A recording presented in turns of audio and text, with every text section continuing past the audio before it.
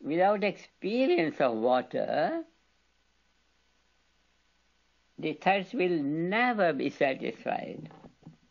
Without experience of total knowledge, without experience of the unified field in modern terms, without the experience of transcendental field, parakichetna, bhavatidhyat, without the experience of that,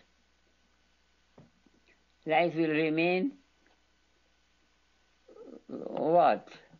Distorted, that's all. Uns- unsatisfactory, distorted. And in dissatisfaction, the man will do all the wrong that, that he can do only. A drowsy man can do anything, no?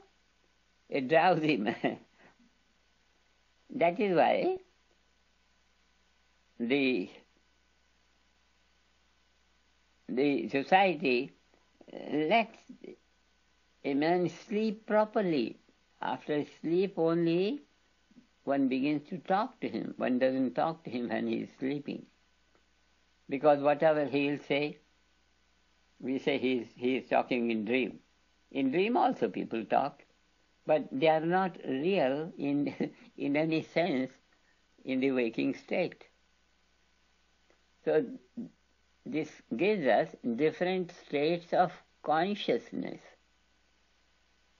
So waking, dreaming, sleeping, transcendental consciousness is also a state of consciousness as sleeping, dreaming, waking is.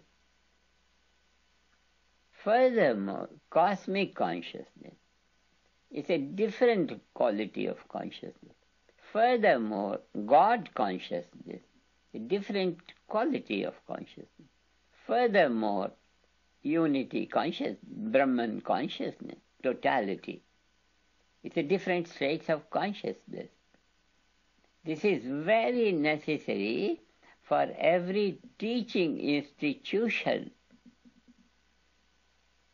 And this is very necessary for the, for the parents to see that they send their children to that teaching institution where they will be led on to develop all the seven states of consciousness. Otherwise, education is only educating them to be slaves. I give you so much money, you do so much thing. I give you so much money, you do so much thing. And if education is only employment oriented, it is crucifying life simply. If education is an employment, it depends upon the government. What the government wants the country to be. How much in bliss or how much in chaos. That's all.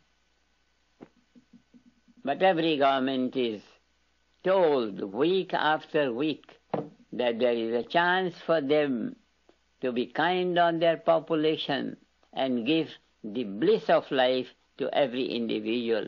If they don't do it, they will be charged for doing injustice to the people.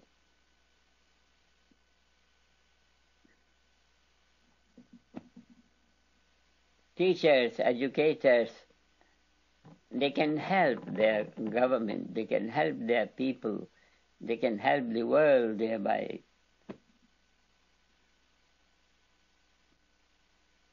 The knowledge is there, use it.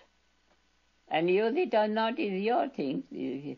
It's all there for you. It's for you to decide whether you want your children to be fully enlightened